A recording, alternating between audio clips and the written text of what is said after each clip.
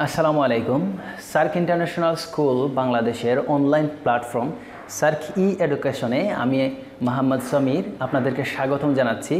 আজকে আমরা চতুর্থ শ্রেণির বাংলাদেশ ও বিশ্ব পরিচয়ের অধ্যায় সাত, এটা নিয়ে আলোচনা করব যেটা নাম হলো কাজের মর্যাদা, অর্থাৎ শ্রমের মর্যাদা।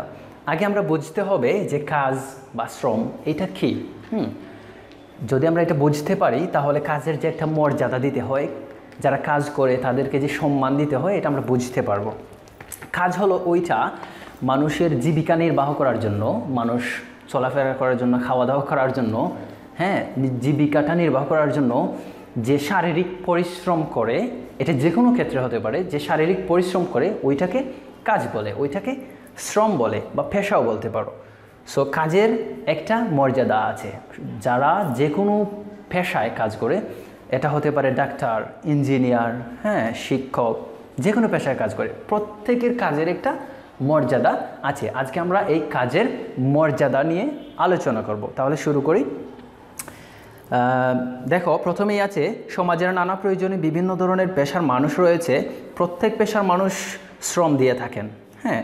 এই শ্রমজীবীগণ আমাদের দৈনন্দিন জীবন যাপনে সাহায্য করেন। তাই সব ধরনের পেশাকে আমাদের মর্যাদা দিতে হবে। এ অধ্যায়ের শুরুতে আমরা বিভিন্ন শ্রমজীবী পেশা সম্পর্কে জানব। অর্থাৎ এ অধ্যায়ে দেখো তোমাদের বইটা যদি খুলে রাখো, সামনে ভালো হয়, এই বইটা বাংলাদেশ ও বিশ্ব পরিচয় চতুর্থ শ্রেণির অধ্যায় নাম্বার সাত, কাজের মর্যাদা। এটা খুলে নাও, ভালো হবে।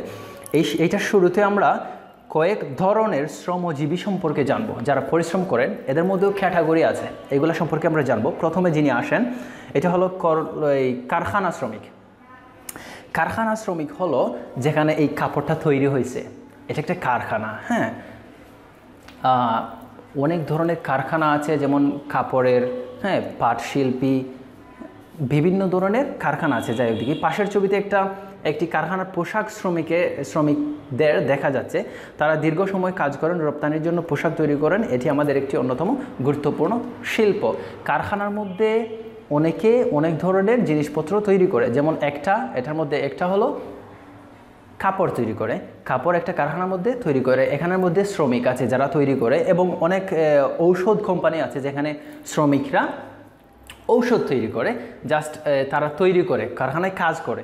এই কারখানা শ্রমিক, এরাও কিন্তু এক ধরনের কাজ করতেছে। সো তারা একটা ক্যাটাগরির মধ্যে পড়ে যে তারা কারখানার শ্রমিক, তাদের যথেষ্ট পরিমাণ সম্মান দিতে হবে। এটা আমরা পরবর্তীতে বলব। কেন সম্মান দিতে হবে? এটা আমরা পরবর্তীতে বলব। যাই হোক এরপরের যে ক্যাটাগরি আসে, পরিচ্ছন্নতা কর্মী। আমরা অনেক সময় দেখি যে আমাদের আশপাশ, হুম, অনেক সময় খুব ক্লিন থাকে। এটা কি আপনি করেন? আমি করি? না। এটার জন্য নিশ্চিত কোনো না কোনো শ্রেণির মানুষ আছে যারা, যাদেরকে পরিচ্ছন্নতা কর্মী বলা হয়।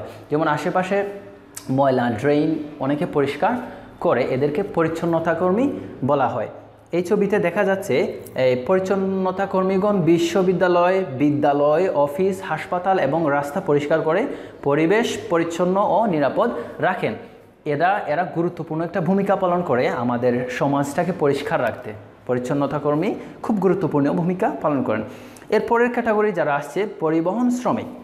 এক স্থান থেকে অন্য স্থানে চলাচলের জন্য এবং মালামাল আনা নেয়ার জন্য আমরা যানবাহন ব্যবহার করি, যেমন নৌকা রিক্সা বাস, রেলগাড়ি, ট্রাক এবং ট্যাক্সি। এ সকল যানবাহনের জন্য চালকের প্রয়োজন হয়। এই পেশাগুলোর সাথে জড়িত লোকজনই হলো পরিবহন শ্রমিক।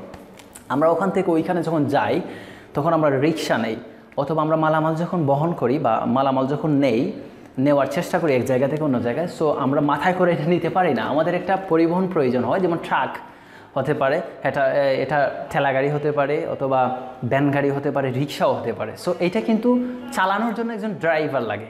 ওই ড্রাইভারকেই পরিবহন শ্রমিক বলা হয়। ক্লিয়ার বিষয়টা? ওকে সো আমরা তিন ধরনের শ্রমিক জানলাম। একটা হলো কারখানা শ্রমিক, একটা হলো পরিচ্ছন্নতা কর্মী এবং পরিবহন শ্রমিক। সো এইখান এইখানের মধ্যে একটা প্রশ্ন আছে, দেখো, কায়িক শ্রমভিত্তিক কাজ বলতে কি বুঝো? কায়িক শ্রমভিত্তিক কাজ হলো ওইটা যে কাজ করতে শারীরিক পরিশ্রম লাগে। কি লাগে? কায়িক শ্রমভিত্তিক কাজ আই রিপিট এগেইন কায়িক শ্রমভিত্তিক কাজ হলো যে কাজটা করতে শারীরিক শক্তি হ্যাঁ লাগাতে হয়। যেমন রিক্সা। রিক্সা চালাতে হলে তুমি কিন্তু ব্রেন দিয়ে রিক্সা চালানো পসিবল না। তুমি সবসময় কি করতে হবে? নিজের শরীরটাকে কাজে লাগাতে হবে। নিজের শরীর দ্বারা কষ্ট করে রিক্সা চালাতে হবে। অর্থাৎ ওই ধরনের কাজকে কায়িক শ্রমভিত্তিক কাজ বলে, যেগুলা করতে গেলে শরীর দ্বারা মানে নিজের বডি দ্বারা এটাকে কাজ করতে হয়। এবং আরেকটা উদাহরণ হতে পারে এই কায়িক শ্রমভিত্তিকের অপোজিট যেটা, উল্টা যেটা, বিপরীত যেটা, ওইটা হলো যেমন বিজ্ঞানীরা। বিজ্ঞানীরা যখন ওই চিন্তা করেন, তখন তারা কিন্তু বডি দিয়ে চিন্তা করেন না। অর্থাৎ বডি দিয়ে কিন্তু তারা তাদের ব্রেইনটাকে কাজে লাগিয়ে কাজ করে। তারা ব্রেইন দ্বারা কাজ করে। আর এখানে যারা রিক্সা চালান, তারা কিন্তু তাদের শরীর দিয়ে হ্যাঁ তাদের পা দিয়ে নিজের শরীর অঙ্গ এই নিজের শরীর দিয়ে এটাকে কাজ করতে হয়। অর্থাৎ ওই ধরনের কাজকে কায়িক শ্রমভিত্তিক কাজ বলা হয়। এরপরে আমরা পরের পৃষ্ঠায় যাই। দেখো, পরের পৃষ্ঠায় আছে হ্যাঁ আইন শৃঙ্খলার, আইন শৃঙ্খলা রক্ষায় নিয়োজিত পেশা। আমাদের দেশে হ্যাঁ সরকার কর্তৃক যে আইনগুলো আছে, ওইগুলাকে শৃঙ্খলায় রাখতে, ওইগুলা মানুষের মধ্যে প্রয়োগ করতে কিছু বাহিনী আছে, এগুলো নিয়ে আমরা আলোচনা করব। সমাজের শান্তি শৃঙ্খলা বজায় রাখতে প্রত্যেক নাগরিককে আইন মেনে চলতে হয়। হুম কেউ আইন অমান্য করে অপরাধমূলক কাজ করলে বিচারের সম্মুখীন হতে হয়। আইন রক্ষার সাথে জড়িত বিভিন্ন পেশা সম্বন্ধে এখন আলোচনা করব। সেটা হলো পুলিশ। প্রথমে হলো পুলিশ। দেশের আইন শৃঙ্খলা রক্ষায় পুলিশ বাহিনী কাজ করেন। অপরাধীকে ধরে বিচারের সম্মুখীন করা তাদের প্রধান দায়িত্ব। দেখো, এখানে আমি একটা ছোটো একটা প্রশ্ন লিখেছি। পুলিশের প্রধান দায়িত্ব কি? এই পাঠ থেকেই আমরা জানলাম যে পুলিশের প্রধান দায়িত্ব হলো অপরাধীকে ধরে আইনের সম্মুখীন করা। এটা তাদের পুলিশের প্রধান দায়িত্ব, ঠিক আছে?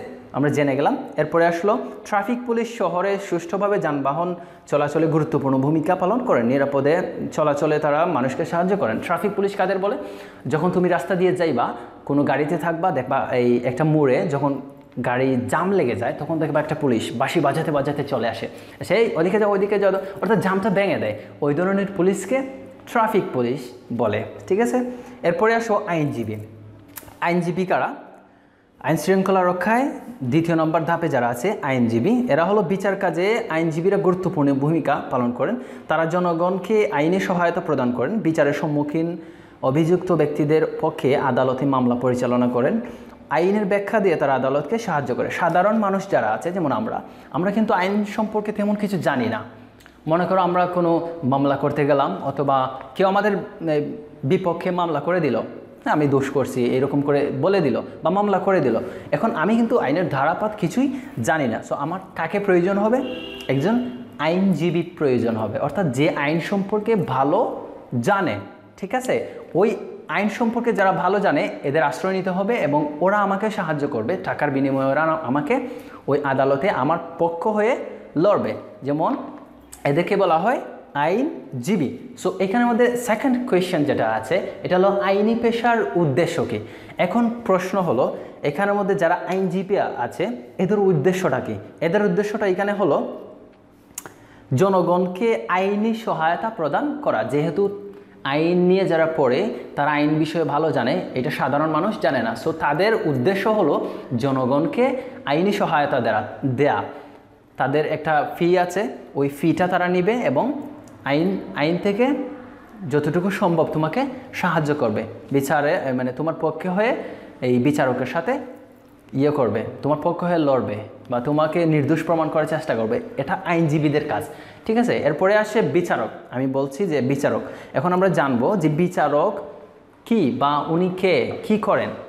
যারা আইন অমান্য করেন, অপরাধমূলক কাজ করেন এবং সমাজের শান্তি শৃঙ্খলা বিনষ্ট করেন, পুলিশ তাদের ধরে বিচারের সম্মুখীন করেন বিচারক বাদী ও বিবাদী উভয় পক্ষের কথা শুনেন। তারা বিজ্ঞতা ও বিচক্ষণতার মাধ্যমে দোষীদের শনাক্ত করেন এবং আইন অনুযায়ী শাস্তি প্রদান করেন। বিচারক হলেন তিনি। মনে করো ক্লাসের মধ্যে একজন বিচার দিল, স্যার, ও আমার জামা চিরে ফেলছে। হ্যাঁ? সে বলল, স্যার, আমি জামা ছিঁড়ি নাই, ওইটা বেঞ্চের সাথে লেগে ছিঁড়ে গেছে। সে যে বিচার দিছে, এখন স্যারের কাছে বিচার দিছে। এখন আমার উচিত হলো যে কে ভুল আর কে সঠিক? কে দুষ করছে বা দুষ করছে কি না? এটা দেখা। অর্থাৎ আমি হয়ে গেছি বিচারক। এরকম কেউ যদি কোনো একটা মামলা করে কারও বিরুদ্ধে যে সে আমার হ্যাঁ এটা চুরি করছে অথবা সে অমুককে হত্যা করেছে, বিচারের বিচারের জন্য সে মামলা করে, তখন সে যে একটা দোষ ছাপাইলো আরেকজনের উপরে, ওই ব্যক্তি সে বলতেছে, আমি এটা করি নাই। সে নির্দোষ। সো ওই দুইজনের মধ্যে কে সঠিক আর কে ভুল, ওইটা নির্ধারণ করার জন্য, ওইটা বিচার করার জন্য একজন মানুষ প্রয়োজন, যেটা হলো বিচারক। বুঝে আসছে? ওই বিচারক তিনি তার বিচক্ষণতার মাধ্যমে, তার দক্ষতার মাধ্যমে তিনি বিচার করেন, তিনি বিশ্লেষণ করে, হুম, বুঝেন এবং আইন অনুযায়ী যে দোষী, আইন অনুযায়ী তাকে শাস্তি দেওয়া হয় এবং যে দোষী না, তাকে খালাস করা হয়। ঠিক আছে? এরপরে আমরা এটা জানলাম, এই আইন শৃঙ্খলার রক্ষায় নিয়োজিত পেশা একটা হলো পুলিশ, আইনজীবী এবং বিচারক। এখন, এরপরে যেটা প্রশ্ন আমি লিখেছি এখানে, সকল পেশার মানুষের সাথে আমাদের কেমন আচরণ করা উচিত? এই প্রশ্নটার উত্তর আমি দিব, তার আগে আমি দেখে নেই যে কয়েকটা সংক্ষিপ্ত প্রশ্ন লিখেছি, এটা তোমরা বুঝতে পারছ কিনা এই আলোচনার মধ্যে। পেশা কাকে বলে? আমি প্রথমেই বলে দিয়েছি, পেশা কাকে বলে? পেশা হলো মানুষের জীবিকা নির্বাহের জন্য যে শারীরিক পরিশ্রম করে বা কাজ করে, ওইটা পেশা বলে। যেমন কেউ রিক্সা চালায়, কেউ ভ্যান গাড়ি চালায়, কেউ আবার ডাক্তার, ডাক্তারি করে, আবার কেউ ইঞ্জিনিয়ার সে হ্যাঁ ইঞ্জিনিয়ারিং করে, আবার অনেকে আছে শিক্ষক যিনি পড়ান। এটাকে পেশা বলে। প্রত্যেকে নিজের নিজের কাজকেই পেশা বলে। আইন এখানে মাঝে প্রশ্নটা কি? এই, এখানে আইন কি করেন না? এখানে হবে আইনজীবী কি করেন? সরি এখানে একটা মিস্টেক হয়ে গেছে। এখানে লেখা হয়ে গেছে আইন। এখানে হবে আইনজীবী কি করেন? আইন জীবী আইনজীবী কি করেন? এটা আমি বলে দিয়েছি, আইনজীবীরা আইন সম্পর্কে দক্ষ। তাই ওরা সাধারণ জনগণকে আইনের সহায়তা দান করেন, ঠিক আছে? এরপরে আসে পুলিশের প্রধান দায়িত্ব কি? এটাও বলে দিছি, পুলিশের প্রধান দায়িত্ব হলো জনগণকে, এই অপরাধীকে প্রথমে, অপরাধীদেরকে আইনের কাছে সমর্থন করা। এটা হলো পুলিশের প্রধান এবং প্রথম কাজ, ঠিক আছে? এরপরে আমরা যতটুকু আলোচনা করলাম আমাদের অধ্যায়ে সম্পূর্ণ আলোচনা করা হয়ে গেছে। আমি তোমাদের কাছে শেষে একটা প্রশ্ন করতে চাই, যে তোমরা অনেকটা পেশা পড়লা, যে অনেক পেশাজীবী আছে, অনেক কাজ ও অনেক ধরনের কাজ আছে। সো আমার প্রশ্ন হলো যে তুমি ভবিষ্যতে কোন পেশার কাজ করতে চাও? তুমি কোন ধরনের পেশা নিবা? ডাক্তার হবা, ইঞ্জিনিয়ার হবা, না এই শিক্ষক হবা? কোনটা হতে চাও? এই প্রশ্ন রেখেই আজকে আমরা এই এপিসোড শেষ করছি, এই ক্লাস শেষ করছি। দেখা হবে নেক্সট এপিসোডে আর তুমি কোন ধরনের পেশায় কাজ করতে চাও এটা অবশ্যই কমেন্ট বক্সে জানিয়ে দিবা। ভালো থেকো সবাই আল্লাহ হাফেজ।